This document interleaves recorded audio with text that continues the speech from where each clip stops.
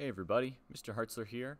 I wanted to show you in this video how to find volume, surface area, and weight. And this is going to be of a cylinder. In this case, it is a piece of cast iron rod. Alright, uh, the picture up here you can see is 5.25 tall. Our diameter is 1.75. These are all in inches and you had to know weight density, and that is 0.259 pounds per cubic inch. All right, let's get started. So we start off with volume, and volume formula for a cylinder is pi r squared times h. I have to start substituting in the things I know. Still don't know volume, that's what I'm solving for. But pi is 3.14. That's at least the number we use most of the time for our math classes, and even here in engineering our r squared, well, r is half of our diameter, so that's 1.75 divided by 2. We have to square that, then we have to multiply by our height. And our height in this case is a 5.25. We then have to multiply all of that out. When we do that, we end up with 12.6213. That's cubic inches because all of these dimensions were in inches. This one gets squared, so that's inches squared, times another set of inches. I'm left with inches cubed. But we want to simplify this a little bit. So I say volume equals 12.621 inches cubed. That's volume of our cylinder. Now let's go on and do surface area of our cylinder. Formula looks a little bit scarier, but it's not too bad at all. Again, we're just substituting in the things we know. I know pi is 3.14. My radius is half my diameter, just like last time, and it was 1.75, so I divide that by 2, and that's 0.875. So that's what I'm going to put in this time.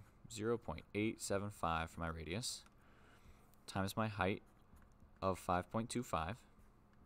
I have to add to that 2 times pi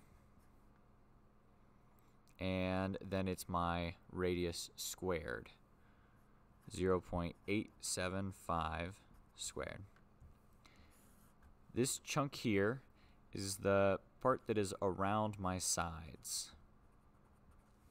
So if I go back to that original picture that would be this piece going all the way around. This end chunk over here, this is all of my top and my bottom of my cylinder. Punch all of that into the handy dandy calculator. You get 33.6569 and that's inches squared because it's area. And we're going to round that a little bit differently too. We're going to go to the thousandths. So 6, 5, that 9 makes the 6 want to go up. So that becomes a 7 inches squared. Surface area is now done. Now I go over and I'm going to find weight. Formula for weight is weight equals volume times the weight density. I know it's weight density, not mass density, because a little W to the right of it. Don't know my weight, but my volume, I found that out in the beginning. And that was 12.621 inches cubed.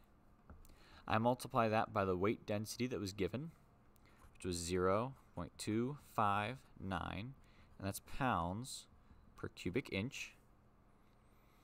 Multiplying all of that, we get 3.269 pounds. Because these inches here cancel with those inches down there. And now I have found weight. Those were the three things we wanted to see. And if this video is helpful for you, please click that like button if you enjoy seeing this tutorial and would maybe like to see more like it, please click the subscribe button and that little bell at the bottom so you can get notifications about when I put up new videos. If you have a question or comment related to this video or anything else, math or engineering related, please leave that down in the comments below and I can try and make a video on it. Hope this was helpful and I hope you have a great rest of your day.